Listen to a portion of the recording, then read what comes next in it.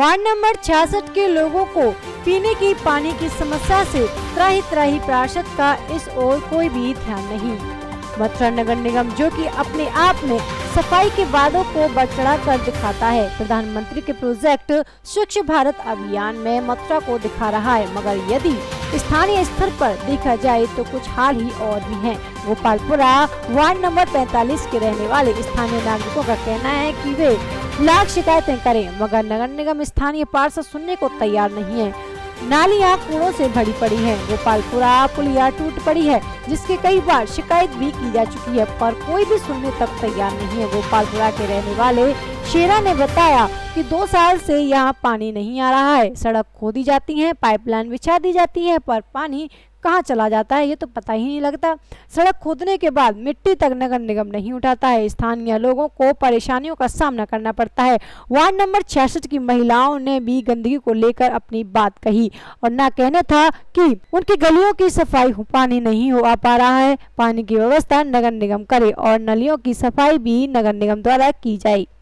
क्या नाम है आपका? मेरा नाम शेरा है। सिरा जी बताइए क्या क्या आ, क्या परेशानी है आपके? परेशानी ये है कि दो साल से ना तो गलियों में पानी आ रहा है हर बार रोड खोदे जाते हैं खोदने के बाद उनको पाइप डाल पाइप डाल दिए जाते हैं रोड यूँ ही पड़े रह जाते हैं। उनको फिर सही करने भी नहीं आते हैं ना तो मिट्टी उठाई जाती है ना रोड सही से दबाए जाते हैं। उसके बावजूद भी हमारी गली की जो है पुलिया है कम से कम मैं उस, उस चीज़ के लिए बहुत दिनों से प्रयास कर रहा हूँ ना तक वो आज तक बनी है और ना ही मुझे लगता है कि वो बनेगी अब। क्यों? क्योंकि मैं बार बार कह चुका हूँ और बोल चुका हूँ ना तो पानी की समस्या सॉल्व हो रही है ना तो पुलिया बन रही है नालियाँ हैं वो भी भरी पड़ी रहती हैं कूड़ा इतना आता है नालियों को साफ़ करने के लिए दस दस दिन में पंद्रह पंद्रह दिनों में आते हैं वो लोग साफ़ करने और आ भी जाएँ और ना भी आए और वो आते हैं तो सिर्फ़ शकल देख के नालियों को और गलियों को साफ़ करते हैं कि हाँ हमें कौन सी करनी है। बाकी अदरवाइज़ हम लोग इंसान नहीं है क्या? क्या हमें मतलब गंदगी से एलर्जी नहीं है? या फिर हम हमने पार्षद चुना है किस लिए चुना है? पार्षद हमने इसीलिए तो चुना है तो कि हमारी समस्या को सुने। पार्षद जब से पार्षद बने क्या एक भी बार हमारे यहाँ आई है पार्षद? सोहिता शर्मा ने एक भी बार यहाँ आके ये देखा है कि गोपाल नगर में क्या प्रॉब्लम है। मैं उनसे बात करना चाहता हूँ। क्या उन्होंने एक भी बार ये देखा कि यहाँ गोपाल नगर में किस चीज़ की प्रॉब्लम है? उन्होंने एक भी बार नहीं देखा है। तो प्रशासन से और नगर निगम से आप इसके लिए मैं यही कहना चाहता हूँ कि मेरे गली की पुलिया आज भी टूटी हुई है। मेरी गली में पानी नहीं है। मेरी गली के व्यक्ति जन कहाँ कहाँ से स्टेशनों पे तो पानी भर भर के ला रहे हैं। क्या ये मतलब माताएँ बहनें हैं? स्टेशन पे सुबह बाल्टी लेके जाएँगी? पानी भरने के लिए। ये बताइए आप अपने आदमियों को ड्यूटी भेजें उनके लिए खाना बनाएँ या वहाँ स्टेशन से पानी भरने जाएँ? आप ये बताइए तीन तीन चार चार लाइन पाइपलाइन डाल दी गई हैं तो पानी की व्यवस्था नहीं है। क्या हो रहा है ये? मतलब कोई कहता है तो उनके पास जाओ कोई फरियाद नहीं सुनी जाती है। आ रहे हैं कल आ रहे हैं फिर सुनेंगे नगर निगम से बात करेंगे।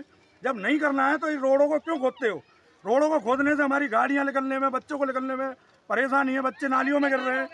बच्चे नाली में गिर जाते हैं पुलिया नहीं बन के दे रही है। क्या करें इनका? ये बताइए आप हमें। क्या नाम है आपका? मेरा नाम कल्पना दीक्षित। कल्पना दीक्षित कहाँ की रहने वाली हैं आप? गोपाल नगर गोपाल नगर। वार्ड नंबर कौन सा है? छियासठ। अच्छा पार्षद कौन है यहाँ की? श्वेता शर्मा। क्या परेशानी है आपके यहाँ पानी हमको पानी की समस्या है। काफ़ी दिन हो गए पाइप लाइन भी पड़ी हुई है गंगा जल भी की लाइन पड़ी हुई है सारी फिटिंग हो चुकी है लेकिन हमारी गलियों में पानी नहीं आता है बिल्कुल भी। पानी ना देना तो पेपर न निकाल निकाल के फेंक दो। और क्या जब अपना उनको नाम ही चलाना है तो फिर समस्या समस्या हमको क्यों झेलनी पड़ रही है? हैं उनको ये सोचना चाहिए कि गर्मी का टाइम है कैसे कैसे लोग अपना जीवन यापन करें सुबह से आदमी हरे थके आते हैं रात को कैसे कैसे बिना पानी के नहा के बिना बिना नहाए धोए सो जाते हैं वो लोग। तो ये पानी की समस्या कब से है आपके यहाँ? कम पूरी साल हो गई हमको। क्या पार्षद ने कभी इधर की तरफ़ झाँक कर भी नहीं देखा। और क्या है ना कि हम उनके आवास पर भी जाकर पहुँच चुके हैं। लेकिन उन्होंने कह दिया कि हाँ ठीक है ठीक है पर कुछ भी नहीं किया आज तक। कुछ भी नहीं किया। तो नगर निगम और प्रशासन से क्या कहना चाहेंगे आप हम ये कहना चाहते हैं कि हमारे यहाँ पानी की व्यवस्था की जाए। पानी के साथ साथ